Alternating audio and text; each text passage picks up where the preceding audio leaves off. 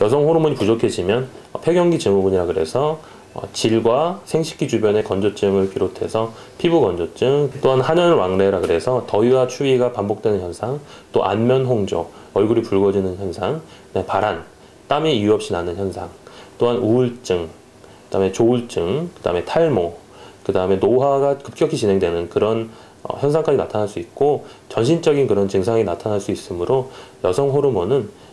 특히 나이 드신 여성들에게 매우 필요한 그런 요소라고 할 수 있겠습니다.